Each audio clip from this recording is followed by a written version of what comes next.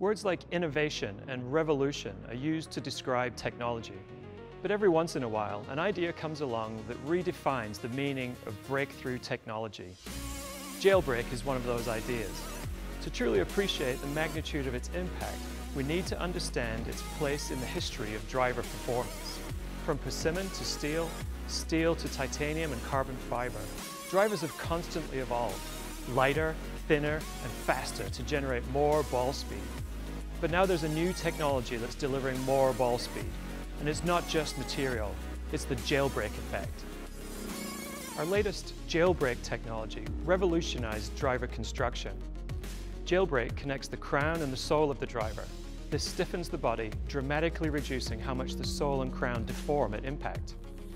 With Jailbreak, the driver face takes on more impact load, which delivers a significant increase in ball speed. Plus, the variable face thickness allows our new X-Face to flex more freely and maximize ball speed across the entire face of the driver. This jailbreak effect has transformed driver performance and has played a significant role in making Callaway the number one driver in golf. If you're not playing a driver with jailbreak technology, you should be.